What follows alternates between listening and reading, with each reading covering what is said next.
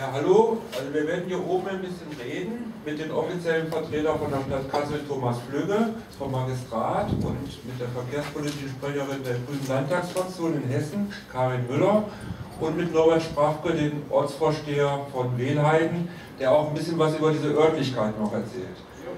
Aber ich stelle jetzt das Mikrofon ab, oder? Soll ich es doch dran lassen? Ja, gut, dann lasse ich es dran. Also, also 20 Jahre Stadtauto. Ich wollte es ja selber nicht so richtig glauben, dass wir tatsächlich schon so alt sind. Äh, aber ich habe mir dann nochmal die Gewerbeanmeldung durchgelesen und das war tatsächlich der 15. August 1991.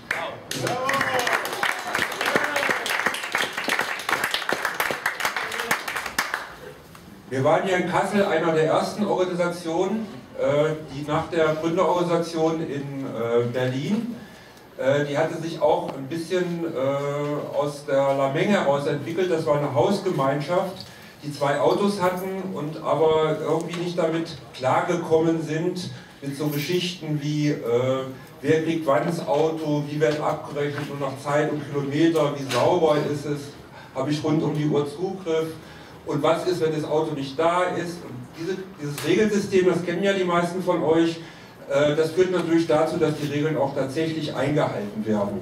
Ohne das wird es nicht funktionieren. Äh, wir haben ja auch äh, von den GBR-Mitgliedern, wir waren fünf Leute am Anfang, die die Firma gegründet haben, ist auch der Peter Hansen hier.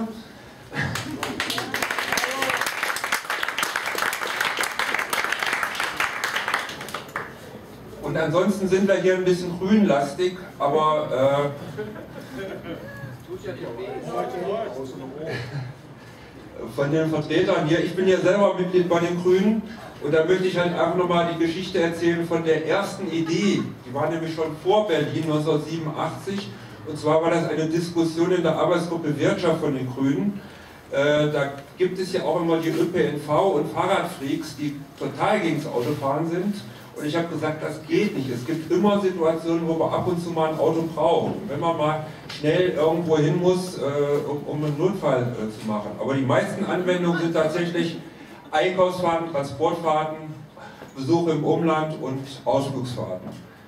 Und wenn man erstmal wieder ein Auto hat, wenn man frustriert war, dann äh, gewöhnt man sich wieder dran und das ganze äh, Umstellungsprozess, was man vorher gemacht hat, ist wieder weg. Also wir brauchen Stadtauto für die Stabilisierung des wenig Autofahrverhaltens. Aber nochmal zu der Idee. Äh, äh, aus dieser Diskussion ist es zuerst entstanden, so wie machen wir Schlüsselübergabe und, und sowas. Und äh, wie gesagt, allein nur mit Fahrradfahren und Autofahren geht es für die allermeisten nicht. Wir haben ja ein Beispiel die Karin Müller, die, die, hat zwar einen Führerschein, aber sie fährt nur Fahrrad und öffentlichen Verkehr, ist also nicht Mitglied bei uns. Aber wie gesagt, äh, selbst wenn man nicht selber fahren will, man kann auch immer jemanden fahren lassen, wenn man daneben sitzt.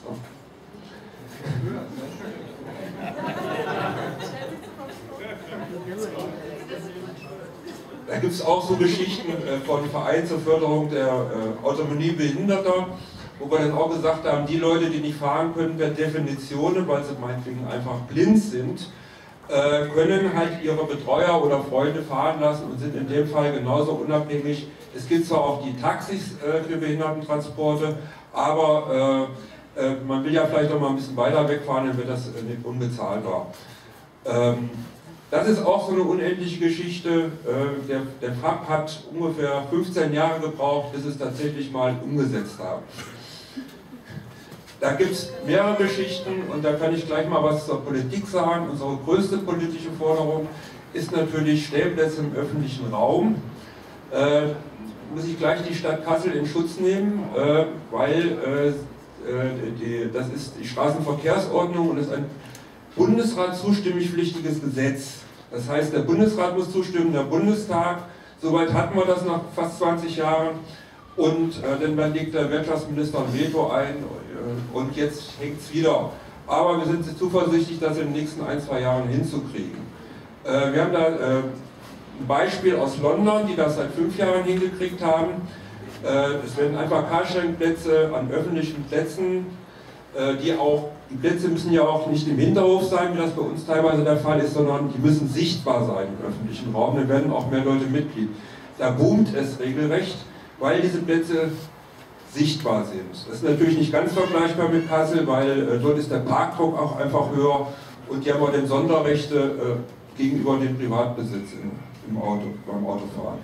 Aber das ist natürlich eine zentrale Forderung, äh, wie, das, wie das, das Konzept noch weiter nach vorne gebracht werden kann. Des Weiteren, was die Stadt Kassel machen könnte, ist zum Beispiel einfach mal Mitglied werden zumindest einzelne Abteilungen. Da sind wir mit manchen Abteilungen als auch schon seit über zehn Jahren zugange. Ähm, das ist teilweise wirklich dicke Bretter bohren, was wir hier machen. Und äh, ja, ich hoffe, dass man damit ein bisschen mehr Bewegung reinkommt. Es ist ja insgesamt sehr viel Bewegung, auch in der Carsharing-Konzeptentwicklung insgesamt. Es gibt dieses, äh, äh, äh wie heißt das, Car2Go-Konzept von Daimler-Benz, da steigen jetzt also auch größere Firmen ein. Das ist aber mehr was für Einwegfahrten und so weiter. Aber äh, Elektrofahrten auf Fahrzeuge werden demnächst auch nochmal ein Thema sein. Das kann aber immer noch begrenzter Zeitraum erstmal sein. Äh, aber da kann ich jetzt nicht weiter zu sagen. Ich übergebe jetzt mal an äh, Thomas Flügge, der sagt mal was aus Sicht der Stadt dazu.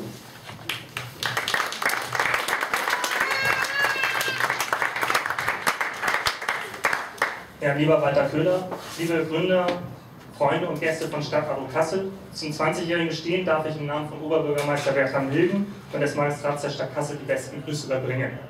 Und deine Forderung überbringe ich dann zurück an den Magistrat und den Oberbürgermeister, ob sie nicht vielleicht Mitglied werden können. Die Grüße äh, übermittle ich doppelt gern. Erstens, weil ich Walter schon lange persönlich kenne und schätze. Und zweitens, weil es eine gute unternehmerische Idee ist, die zweitens auch für die Umwelt ein Plus ist.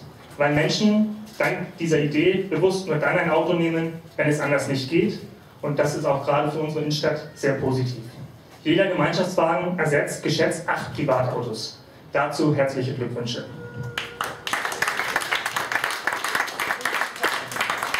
Und meine Damen und Herren, mit dieser sozusagen doppelten Gratulation möchte ich auch weitermachen.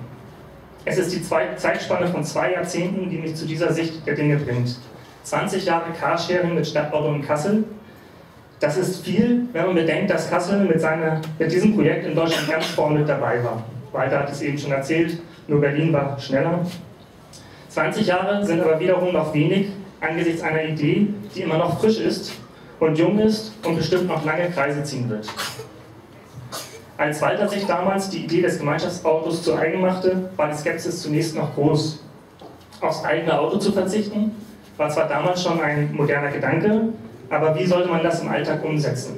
Dass das Regelwerk auch heute noch kompliziert ist, hat Walter eben auch schon, oder nicht kompliziert, aber zu Schwierigkeiten aber zuführt, ausgeführt, aber diese Skepsis hat er halt überwunden.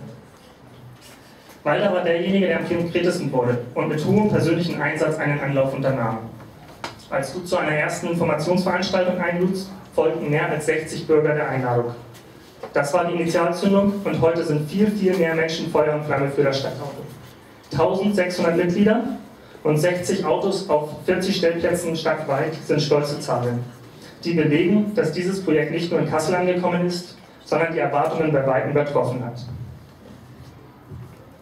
Und auch die ganz individuellen Bedürfnisse können mittlerweile befriedet werden.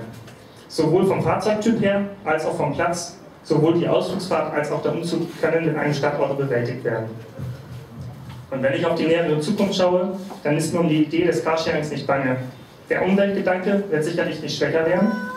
Viele Menschen werden aus diesem Grund nach Möglichkeit suchen, in ihrem persönlichen Umfeld den Ressourcenverbrauch zu senken.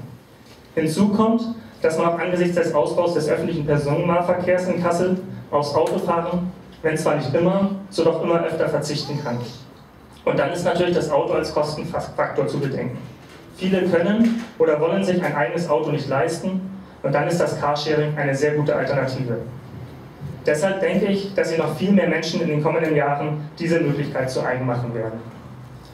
Liebe Freunde von Stadtauto, Walter und den Gründungsmitgliedern danke ich daher für die Realisierung einer guten Idee, für guten Kundenservice, der den Erfolg erst möglich gemacht hat.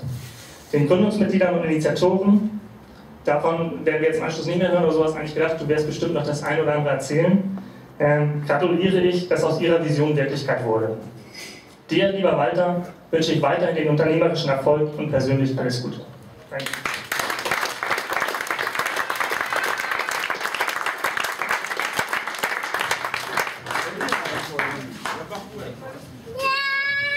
Hallo, also ich stelle mich mal andersrum hin, damit ihr euch auch mal was sehen könnt am Redner. Darf Stadtauto ganz herzlich in Wehlheiten begrüßen. Freue mich sehr, dass Wehlheiten der Ort ist, an dem Stadtauto seinen Geburtstag feiert. Auch deswegen, weil Stadtauto ja durchaus auch eine Wehlheiter Gründung ist, weil Walter ist ja ein Wehlheiter Gewächs sozusagen. Und in Wehlheim wurde das ja schon vor der Gründung von Stadtauto auch diskutiert. Ich kenne Walter ja schon relativ lang. Er war ja immer der Letzte auf der grünen Ortsbeiratsliste, aber in dieser Frage halt der Erste, was äh, Stadtauto und alternative Verkehrskonzepte betrifft. Also herzlichen Glückwunsch an dich, Walter, und natürlich auch an alle anderen Mitglieder und Nutzer von Stadtauto. Ich weiß, was es bedeutet, einen alternativen Betrieb über 20 Jahre hinweg äh, aufrechtzuerhalten. Ich komme ja selbst aus einem alternativen Betrieb, der jetzt nicht den Betrieb, ähm, der dieses Jahr 36 werden wird. Wir werden hoffentlich äh, 2015 auch noch eine größere Feier haben. Ich erzähle euch nachher, was es für ein Betrieb ist.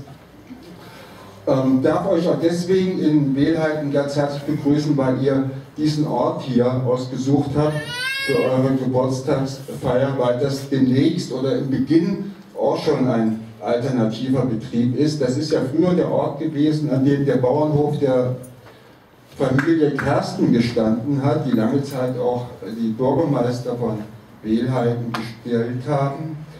Um 1900 ist dieser Bauernhof verkauft worden an eine Familie Spohr, deswegen heißt die Gaststätte hier auch nebenan Spors Bürgerschenke, die hier dieses ganze Gelände bespielt haben. Die hatten dort das Haus, die Gaststätte hier war dann ursprünglich der Schweinestall des Bauernhofs von Kersten, aber dann eine Schreinerei. Das ist dann im Laufe der letzten Jahrzehnte etwas äh, weniger genutzt worden und äh, dann schwieriger geworden, will das mal so äh, sagen. Wer sich die Bilder dort in der Galerie angeguckt hat, was den Zustand äh, dieses Gebäudes betrifft, äh, der weiß, wo ist Herr Steiner? Dort hinten, das ist ja der jetzige Eigentümer, was der in den letzten Jahren geleistet hat. Es wird also demnächst ein alternatives Wohnprojekt werden, wenn alles so richtig zurechtgerückt ist. Das passt ja dann auch gut hier, das alternative Immobilie, dort hier als Geburtstagskind das alternative Mobile. So, das Wetter ist gut. Ich will das also nicht so lange ausdehnen. Äh, meine Bitte, Herr Steiner wird sicherlich nachher noch hier eine kurze Führung anbieten, wer sich dafür interessiert. Nebenan ist die Galerie, hier gibt es ein alternatives Wohnprojekt.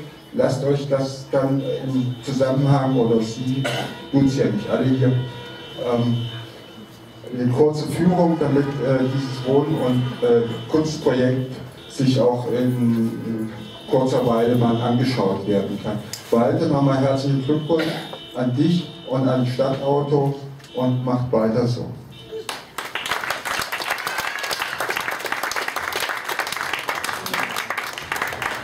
Ja, lieber Walter, liebes Gründungsmitglied, ist ja leider nur eins da, liebe Geburtstagsgäste, auch von den Grünen sowohl auf Stadtebene als auch auf Landesebene, alles Gute zu dem 20-jährigen Geburtstag.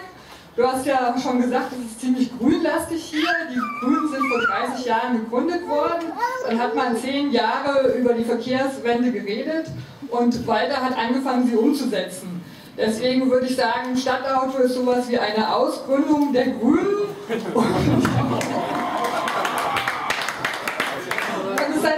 beachtliche Leistung, weil Ausgründungen müssen sich erstmal am Markt etablieren und ob sie sich denn halten, ist fraglich. Du ihr und ihr habt euch gehalten und ich glaube, im Moment kriegt ihr Aufwind von allen Seiten. Du hast es angesprochen, Elektroverkehr, Elektromobilität sehen wir Grünen ein bisschen kritisch, aber ich glaube, es ist auch eine Chance. Das Bohren dicker Bretter in der Politik, 20 Jahre, um es hinzubekommen, dass Stellplätze ausgewiesen werden können, gleich wie Taxis, könnte jetzt Wirklichkeit werden. Denn die Bundesregierung unterstützt Elektromobilität und eine Idee dazu ist natürlich auch, mit Carsharing zu verbinden und Stellplätze für Elektroautos und dann auch natürlich gleichberechtigt die anderen Autos als Carsharing-Plätze auszuweisen. Ich weiß, es ist eine lange Forderung von dir, auch Hinweisschilder auf die Parkplätze.